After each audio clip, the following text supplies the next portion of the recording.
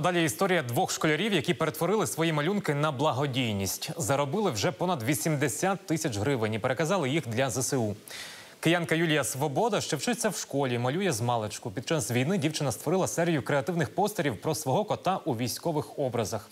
Разом з- братом вони опублікували це у мережі як NFT. Це вид продажу мистецтва онлайн. Самі не здогадувалися, що назбирають понад 80 тисяч гривень, і продаж ще триває. З юними героями та їхнім чотирилапим улюбленцем знайомився Даніїл Самсонов. До родини Юлії війна підійшла надто близько. Вона мешкає у Бучанському районі на Київщині. Коли батьки думали, куди евакуюватися, дівчина продовжувала малювати. Це її хобі з малку. Випадково героєм малюнків на військову тематику став її кіт Річі. Згодом ця колекція постерів про кота на війні буде продана за чималі гроші в інтернеті. Ну, Взагалі ми новини дивилися, і я думала, може щось зв'язане з війною намалювати, якісь події, які більше запам'ятались.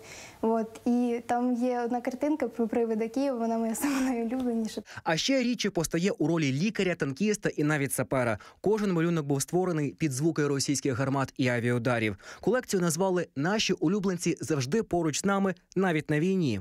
Я не пам'ятаю, який це день був тоді, коли в склади попало біля нас недалеко.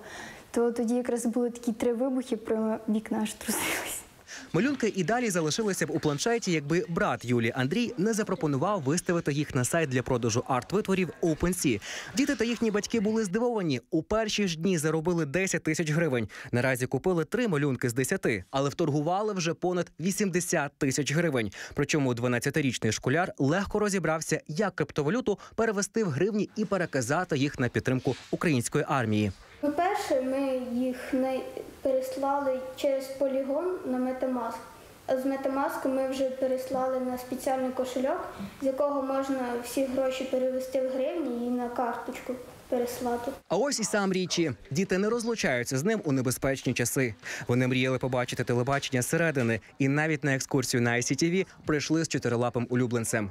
Юля і Андрій надалі шукають, де ще можна опублікувати малюнки. У планах юних героїв збирати гроші для людей, чиї будинки зруйнували російські окупанти.